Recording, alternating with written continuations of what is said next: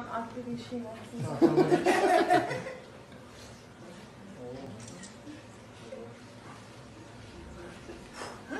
Herkes savunmada. Hay maşallah. Biz de seni arıyorduk.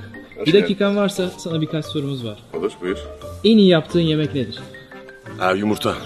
Bugüne kadar yaşadığın en heyecanlı an. Baba olduğumu öğrendiğim an. Eğer bir sporda dünyanın en iyisi olsaydın bu hangi spor olurdu? Ee, rally ya da motosiklet. Süper. İzlediğin en iyi film hangisi? Çok zor bilmiyorum. Ee, belki Godfather serisi. Süper. Peki bu filmde bir karakteri canlandırabilseydin kimi canlandırmak isterdin? Brandon rolünü. En sevdiğin mobil uygulama. Haritalar uygulaması.